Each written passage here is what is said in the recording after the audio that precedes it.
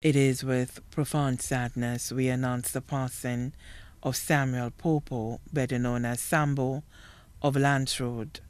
He passed away on Sunday, 2nd July 2023, at the OKEU Hospital. He was 61 years old.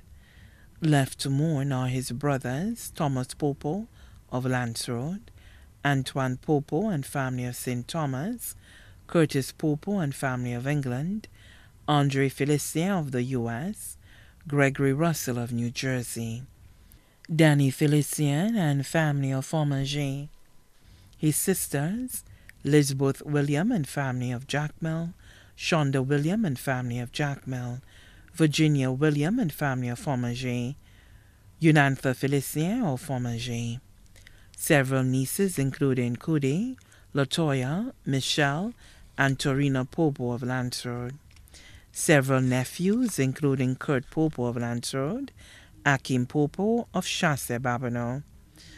Also left to mourn are Virginia Joseph and family of Lance Road, the Popo family of Babonneau, the Samuel, Thomas, and Mitchell families, all of Lance Road, the Arthur family, many other relatives and friends, both here and abroad, too numerous to mention.